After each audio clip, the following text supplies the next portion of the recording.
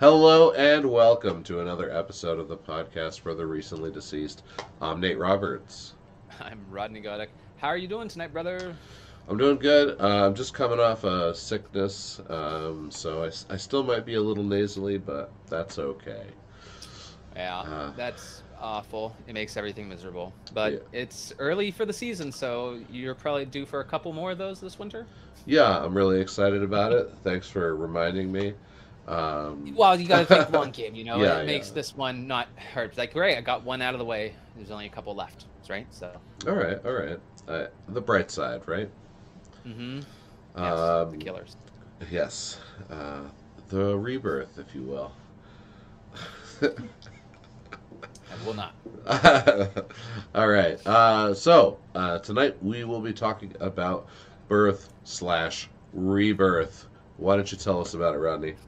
All right, birth, rebirth. I like to omit the slash. I just don't feel comfortable saying it. Ah, birth, rebirth. A morgue technician successfully reanimates the body of a little girl, but to keep her breathing, she will need to harvest biological materials from pregnant women.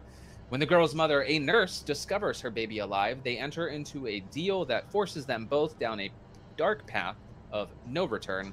This is written and directed by Laura Moss, uh, co-written by Brendan J. O'Brien starring Marin Ireland, Judy Reyes. Uh, Wool has a top billing in IMDb's, but we're going to give it to the kiddo, A.J. Lister, playing Lila or Leela. I can't remember how she pronounces it in the film. So, that synopsis, Nate, was quite a mouthful. That was pretty much all of the fun intro to the movie to like, if you Yeah. in blind, these are the things that you're going to love to discover. And being told that, I'm not too keen on that. So I do not Yeah. appreciate the IMDb. I also feel like the the harvesting uh, from pregnant women is a little Yeah. is a little is a little much because little on the clit there. I think Yeah. they need to kind of reel it back and let me kind of figure it out. yeah yeah um, Look, we're going to be open with uh, female reproduction, genitalia, and things like that because that's all about this movie. Plus, I mean, men were objectified early on in this film, so I think it's fair that we objectify just a little bit, or get, just get outright and identify what's going on. Right? they, yeah No? they they, de- they definitely were that was a that was a good scene though um, one of the best, according to some people, or the only best scene. Yeah, right. Um, and some by some people he means me. And with that, I'll start.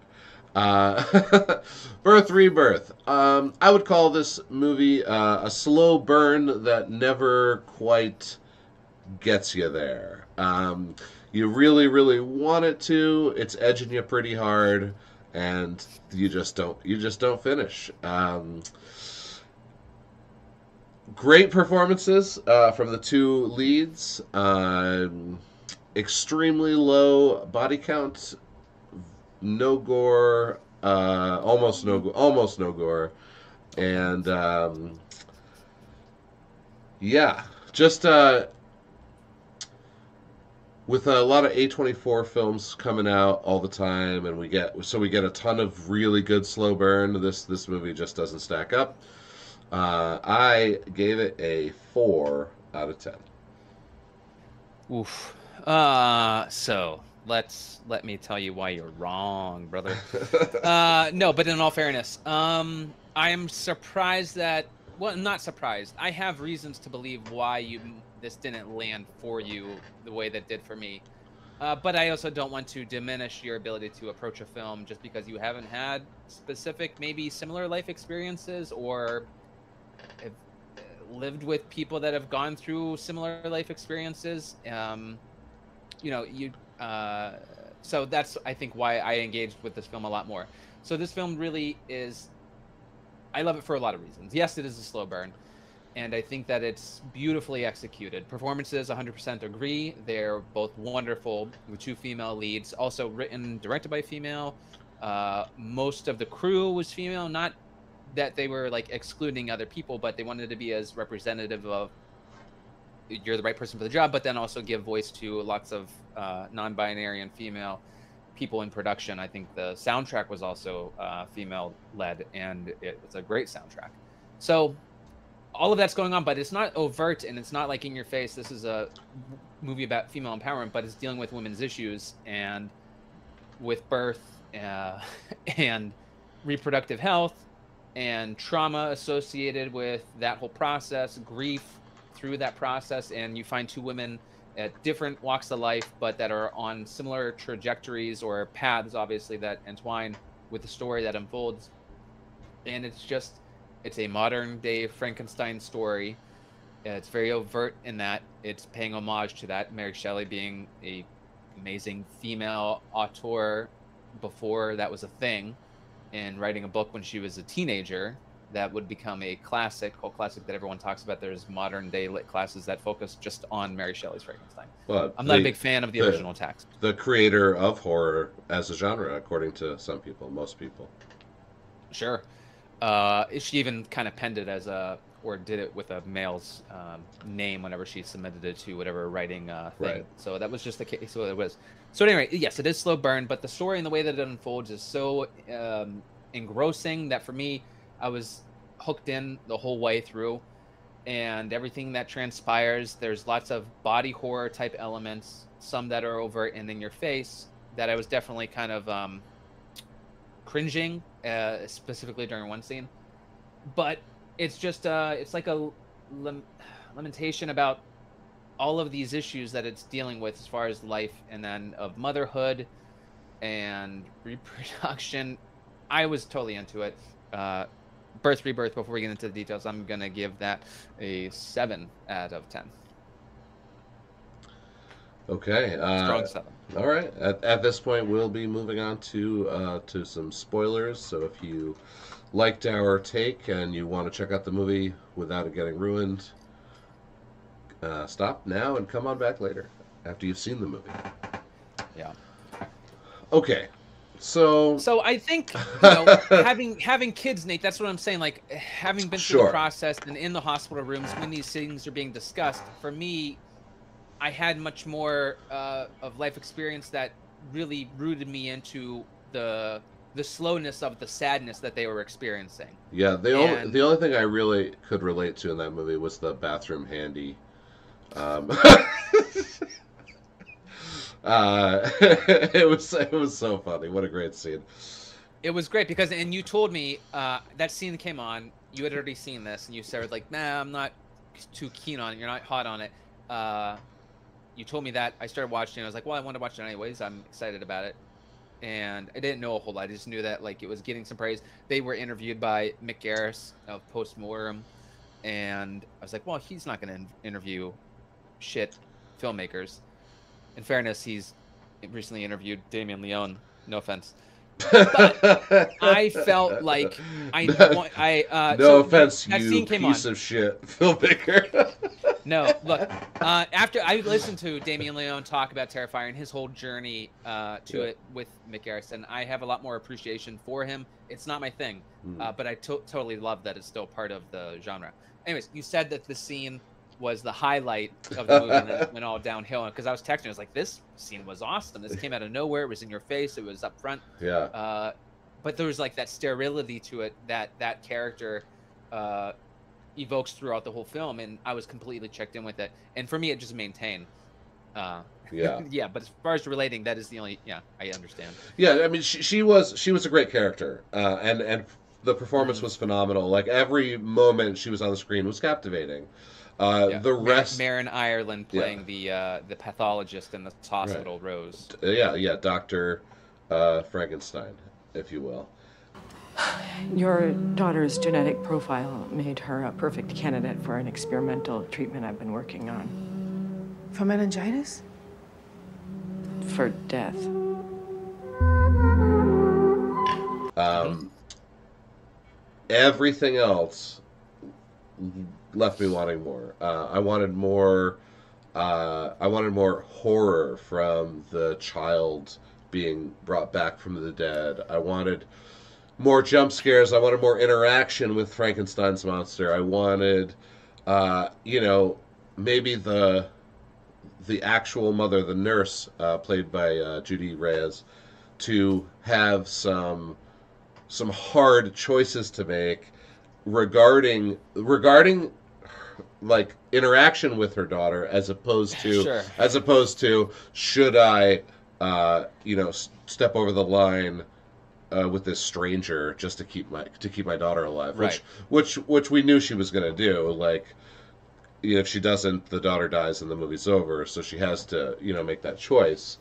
Um, but I just would have liked to have seen more, uh, maybe more sacrifice. You know, like Well, maybe I think it's like that you're yearning for more, uh, not to, I'm not demeaning this term or you in it by saying it, but like a more traditional type of a horror movie because this really isn't a traditional horror movie. This is much more of a, a slow burn, uh, experiential, uh, emotional experience, psychological Sure. horror more than anything, even start part thriller, part drama. It's Yeah. not a traditional horror movie that is going to have a jump scare or is Yeah. going to have overt kill count or anything like that. It's not going to focus on the monster. It's focused on these two women, right, how they entwine their lives and how they pursue this necessary endeavor together yeah, and both coming from different things. You know, the one the pathologist is all the symbolism and ways that they identify as different people. Like she's the pathologist, she sees people at the end of life.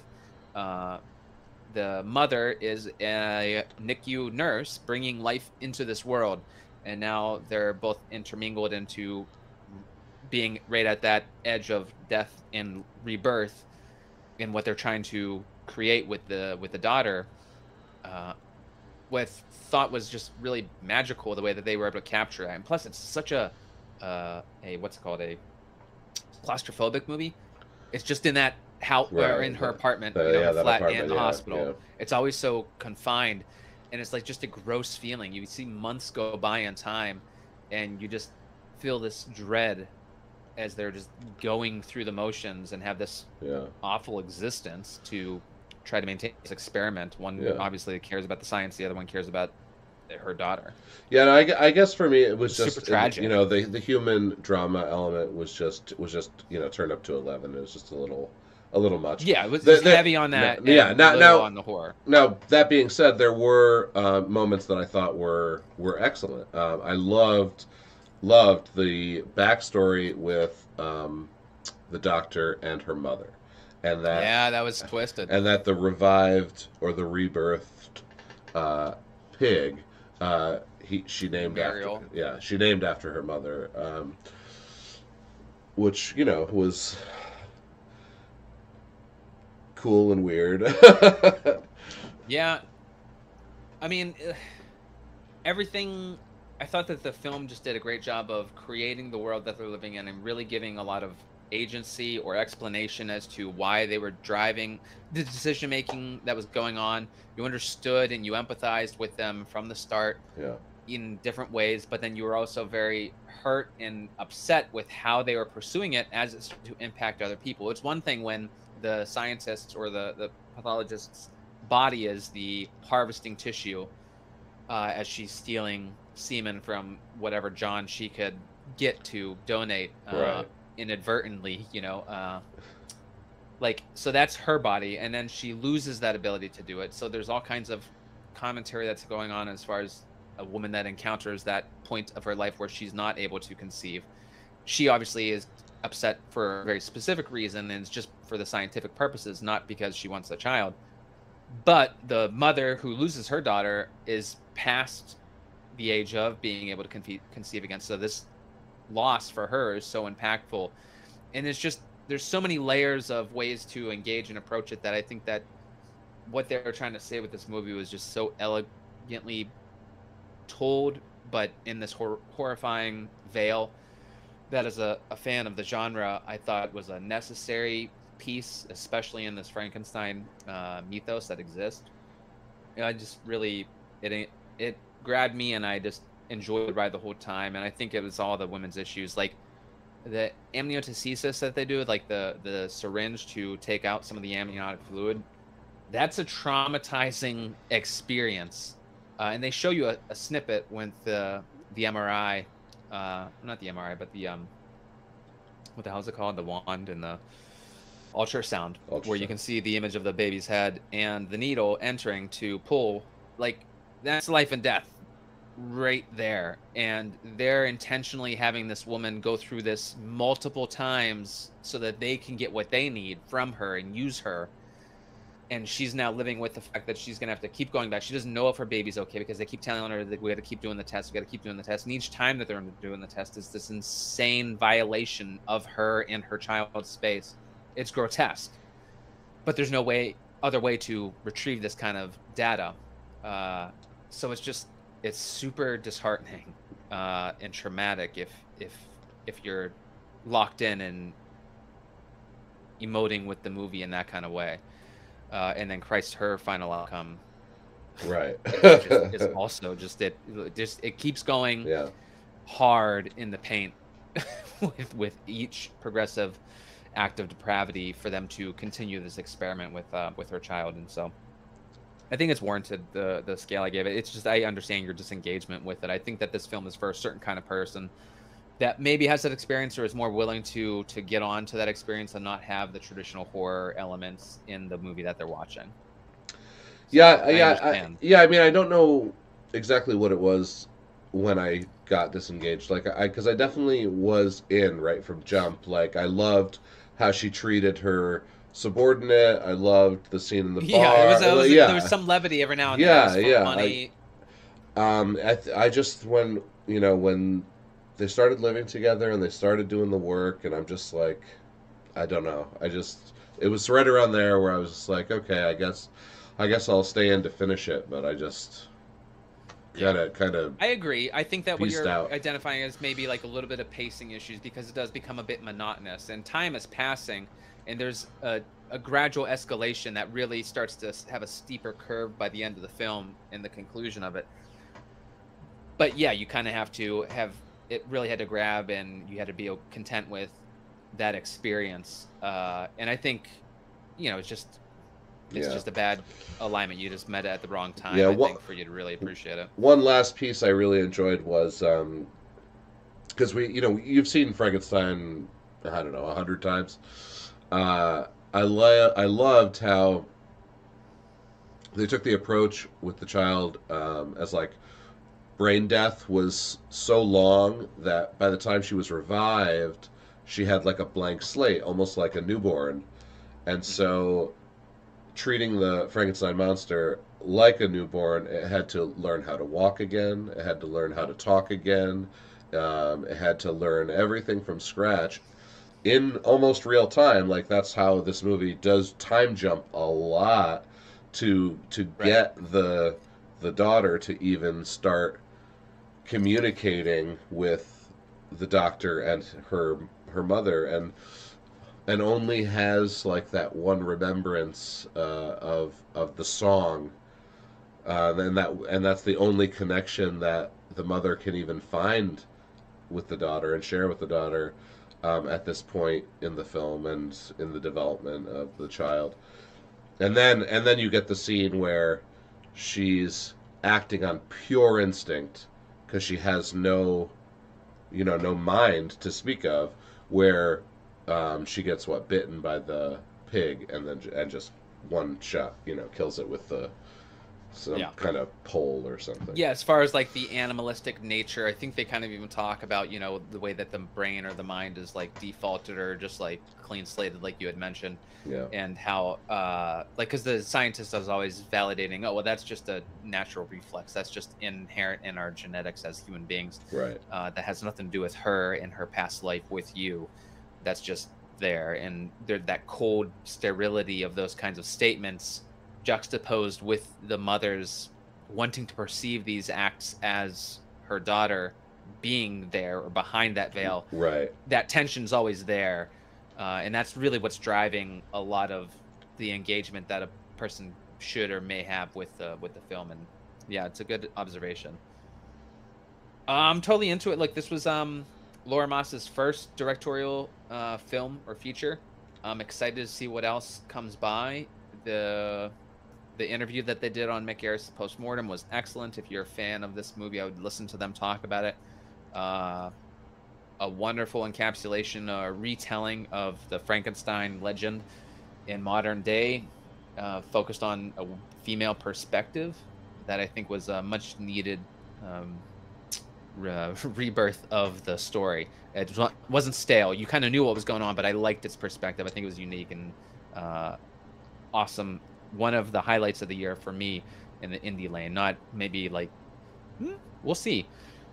A seven could definitely be in the top five slash ten this year. Oh, there are Uh, going to be a few. kind of if we go, if we do a top ten, uh, there's going to be a bunch of sevens in there. uh, I think we might be doing a top five this year. Sure. Um, so, uh, birth, rebirth, afterbirth. I gave it a four, I landed at a seven for Birth Rebirth.